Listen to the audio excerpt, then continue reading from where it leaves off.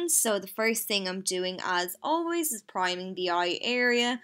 I'm using the Urban Decay Primer Potion today and this will just make sure that the eyeshadows that I'm about to apply will last all day long and that they will appear nice and vibrantly on the eyes. Now I'm taking a felt tip liner pen and I'm mapping out the shape of my winged liner. I'm doing this now to get it out of the way. I'll have a guide as to where to blend my shadows in from later on. And then all I have to do is to fill in the blank and it saves me some hassle. I'm going back to my beloved Naked Cherry palette today and I'm creating a deeper look with it.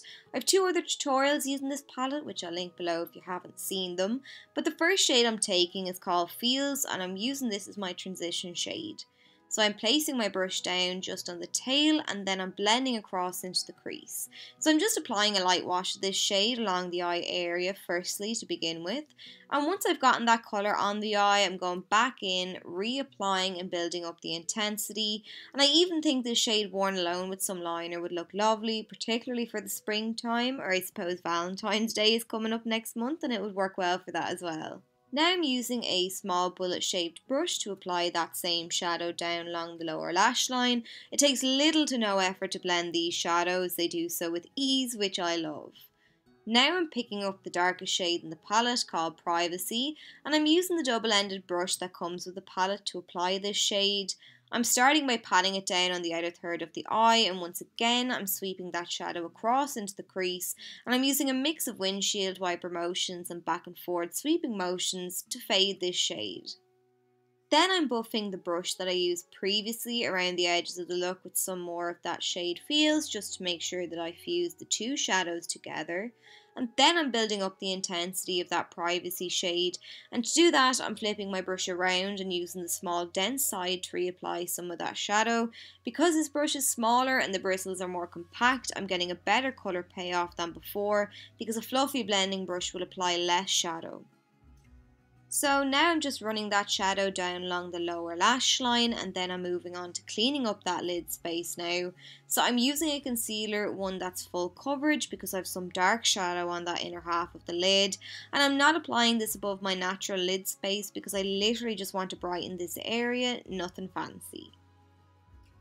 Now I'm taking the shade Turn On on a small flat C-shaped brush and I'm adding some sparkle to the lid so I'm just adding this on the inner third of the eye. Then I'm taking the shade next to it called Ambitious and I'm picking up some of this shadow on a C-shaped brush too and I'm adding it right next to that turn on shade. And you could spray your brush with some water or a setting spray to really make these shadows pop but I find using them dry works well too.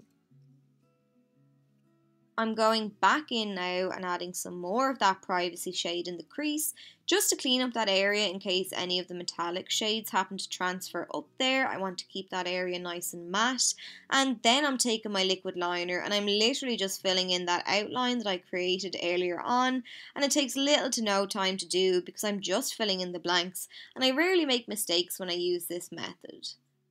Now then I'm adding some Kiss lashes. These are the Midnight lashes. They're really, really flattering on. Once I've got those firmly stuck in place, then I'm switching to a pencil liner. So I'm using this kohl pencil by number 7 and I'm just running this on the inside of the eye, lining the waterline so it's nice and black. And then to brighten up the inner corner of my eyes ever so slightly, I'm going in and adding some of that hot spot shade just around the tear duct. To finish off the look then, I'm taking some mascara. Anyone will do because I'm just using it to blend my own lashes in with the false ones. And then that's it. So I hope you enjoyed the tutorial and found it helpful. If you did, please let me know and I'll chat to you soon.